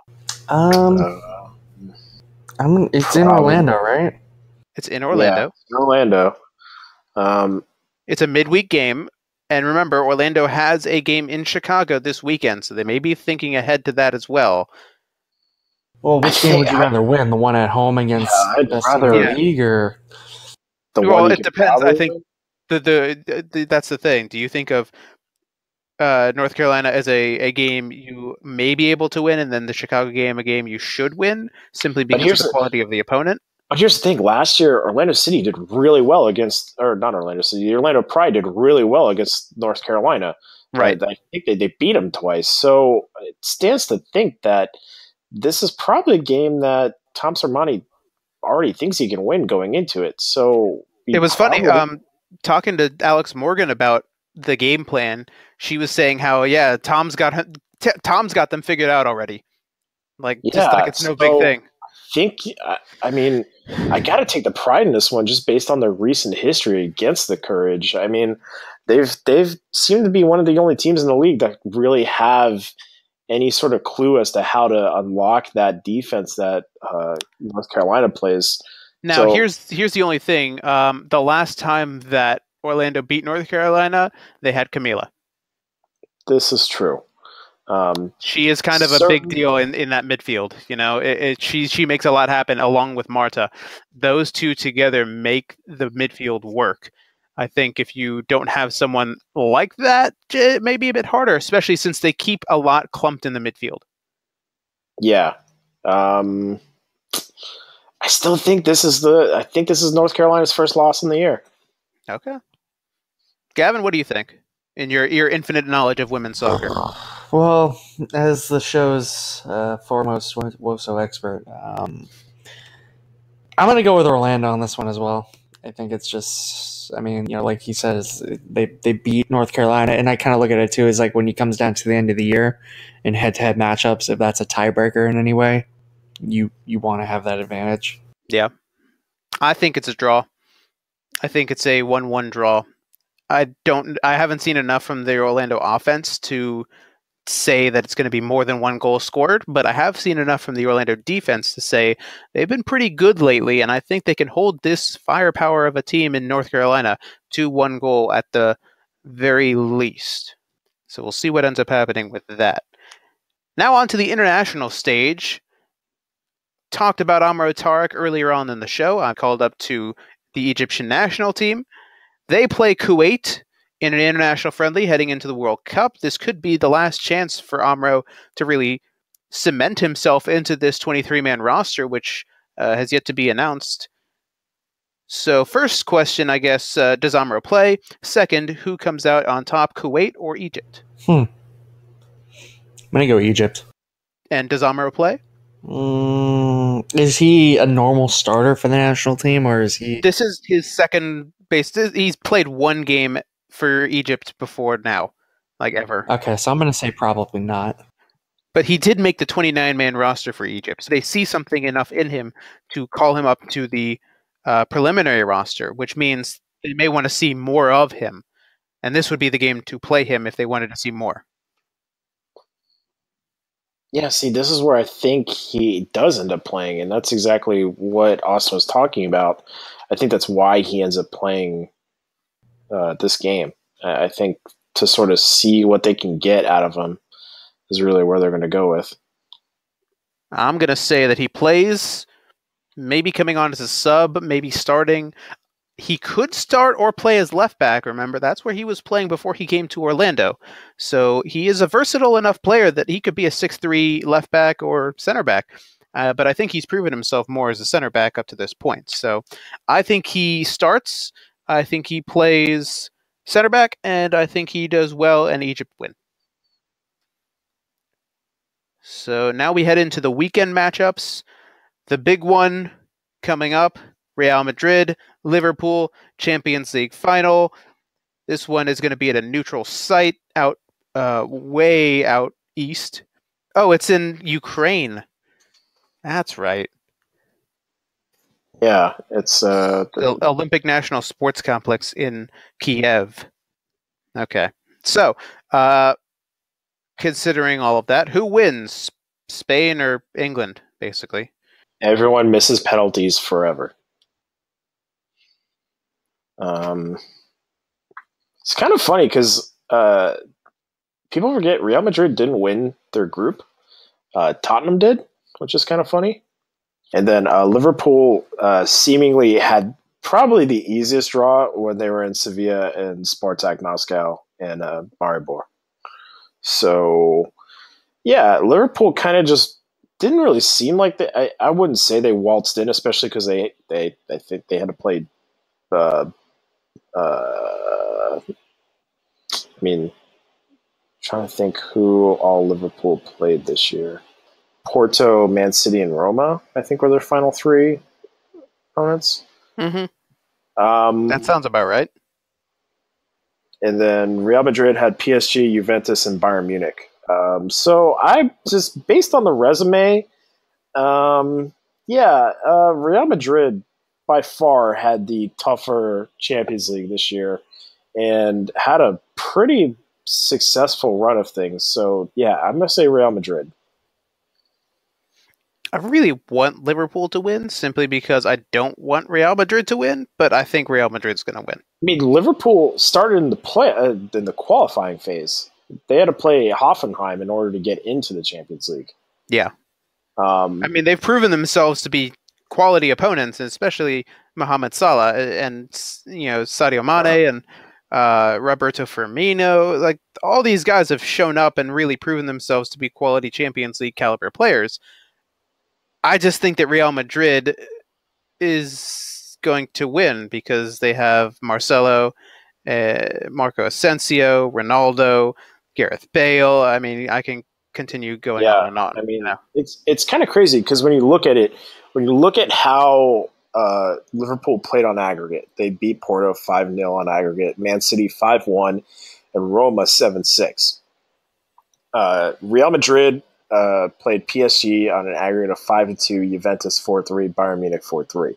You would think just because they're playing their opponents that much closer, and I think from top to bottom, their opponents have a much more their their opponents are much more impressive than uh, Liverpool's have been in this uh, Europa League this year. So, or not Europa, uh, Champions League. Um, so, yeah, I, I think I think Real Madrid has a much more impressive resume. Their team is just deep from top to bottom.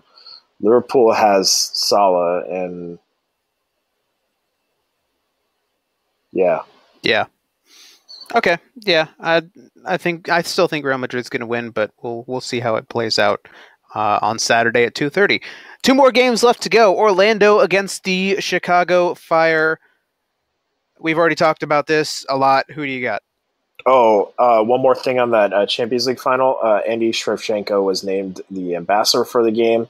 Um, so that automatically means uh, no English team can win. Just keep in mind, whatever I say here, the opposite's probably going to happen. Um, just because I've gotten basically the score line right or number of goals right or something I'm, I'm going to get some detail right of this. It's going to be most of it, but it's just going to be something critical is going to be wrong about it. Because, folks, when you're right 52% of the time, you're also wrong 48% of the time. Um, so I'm going to say Orlando 2 0, and I'm sorry already. Okay. I'm gonna go. See, if Dom's not back, I really, I really don't know how they're gonna score. I'm gonna say, I'll give them the benefit of the doubt and say one-one, but I, I'm really not sure where they're gonna get their scoring production if Dom doesn't play, because they haven't proven it so far. They haven't won without Dom. So I'm Dom- not gonna. I mean, I'm not gonna say. missed one game, too. So No, he's missed Oh, more than that. no, he he missed missed three games three. beginning of the season. Yeah. Forgot about that. He Yep. missed the first two games to start of the year. Was it two or three? I thought it was two. So here we go. Dom Dwyer has played in seven games. He yep, he missed the first three. DC, Minnesota, and NYC. Yep. And then Mhm. Toronto. That explains the results for those three games too. Yep. Tie, loss, loss, and loss. Orlando is currently six and one with Dom Dwyer and 0 and 0 3 and one without him. No, he, they they're oh Oh, one and three, Yeah, oh one and three. Yeah. Yeah, whichever one. Okay. Last game. Championship playoff at Wembley. Aston Villa versus Fulham. The winner goes to the Premier League. Who do you want to see? Would you rather see Fulham and Craven Cottage back in the Premier League, or would you rather see John Terry captaining Aston Villa? No one wants to see that, so I'm going Fulham. Uh, what do you guys think? Yeah, the Chelsea fan picking Fulham to not I- see John Terry back in the Premier League. I don't want John Terry back in the Premier League. I don't think anyone wants a 37 year old center back that blames other people for his shortcomings to be back in the Premier League. There you have it, folks. Yes, I'm also saying Fulham, um, just because, dear God, John Terry, just go away, please, please go away forever. Gavin,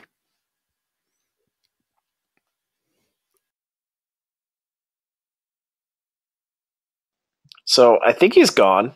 yeah, This uh, this this serves as a, a really great uh, metaphor for his tenure on the show too, as it just sort of ended very abruptly and without much notification to the rest of us. So, um, that seems to be very on brand for uh, Big Gav there. yeah. Well, uh, it's a good thing that the show is pretty much over uh, because uh, Gavin is now gone. So, uh, rip to Gavin again. Um, we'll never know who he. I'm, I, he wants Fulham. I know that. He already said that before the show. Well, that's the show. That is the end of it. Technical problems abound, but we got through it in the end. Dear God in heaven. This is going to be a long one, folks. Just uh, fair warning to you. Well, if you've gotten this far, then you already know. But per the usual, we'll be at the stadium covering uh, the post game show. Uh, hopefully, we'll have a, a better streaming service uh, for the uh, post game press conference. I'm hoping to get that set up and uh, working correctly. We might have like high definition video, which could be exciting.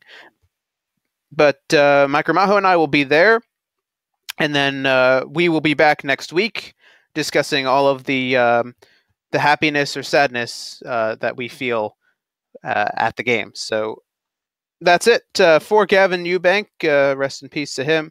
Uh, for Brad Newton and for our good friend Kyle Foley, who's celebrating his birthday yesterday. Happy belated! I know you never listened to this, but I just feel better mentioning it on here. So we not forget, Macho Man uh, passed away, I think, like 10 years ago, uh, earlier this week. So we have to take time out to remember that. It's okay for macho men to show every emotion available right there, you know, because I've cried a thousand times, I'm going to cry some more. Yeah. There you go. Rest in peace, Macho Man, the, the actual Macho Man. Well, with that, um, for everybody else and myself, Austin, David, thanks for listening uh, to one heck of a show. And uh, we'll be back next week. Until then, enjoy your uh, rest of your week. From the tower of power, too sweet to be sour, I'm funky like a monkey. Sky's the limit and space is the place.